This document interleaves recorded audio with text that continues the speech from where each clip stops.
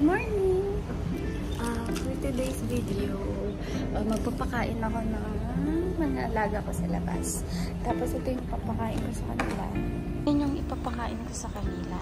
Saka ito, wala kasing kumain. Big Mac pa, mga walang hiya. Tapos, ayan, medyo lumiwanag. Kasi kinakain talaga nila ay basura. Tapos, itong fish na ulam namin kagabi, sarap yan, puro laman pa. Ilalagay ko sa lagayan. Tapos, ayun. Ayusin ko na. Sorry for my face. Kasi, it hurts. Big Mac ang mga binchi.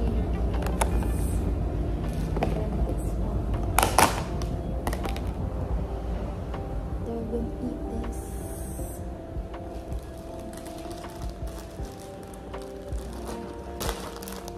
Tapos liligpitin ko din.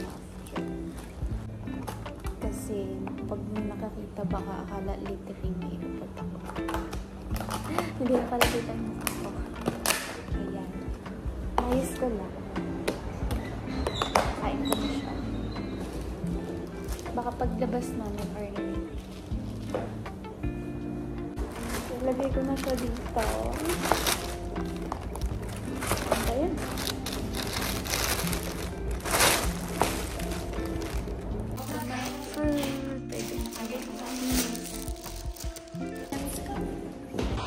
Doon ako magpapakain. Sa puno doon. Ah, sige. Yan, doon yung puno na malaki. Maglalakad ako. Maglalakad ako. Papakain tayo. Dito ako maglalagay ng food.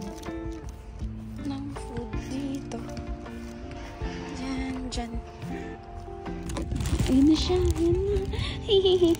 Andyan na siya. Open natin ito. Ayan na, dalawa na sila. Dalawa na sila. Meron pa.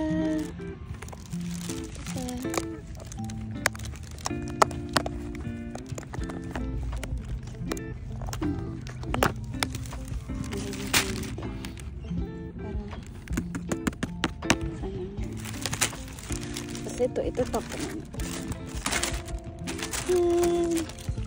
Bye-bye! Nandun sila nakatira sa puno na yun. Bye-bye! Naglalakad na ako papunta dun.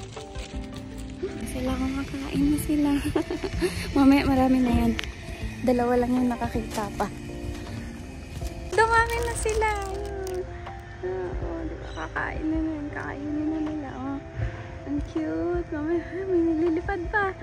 Ayan ah, nakakatuwa sila.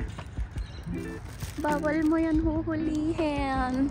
Makukulong ka ng isang taon. Ay, nag-aaway. Wala, nag-aaway. Kawawa.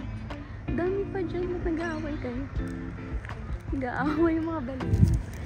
Ngayon, tatapon ko to. Tapos, punta na kami na siri-siri tayo. Siri-siri ko. Bye! O, ayun lang. Lagi ako nagpapakain doon. Iniipon ko yung mga tira-tira. Sa kanila ko na pinapakain. Um, tinitignan nila yung berries. Kinakain nila ng mga lorry kids. And sasakay na kami ng train. Hanggang dito na lang. Bye-bye!